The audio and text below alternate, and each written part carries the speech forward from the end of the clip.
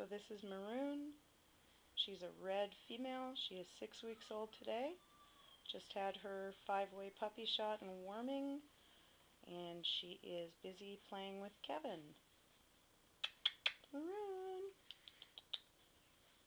And she is much more interested in something in Kevin's pocket. Hey, Maroon. Nothing in my pocket. She's a very pretty girl, very nice temperament.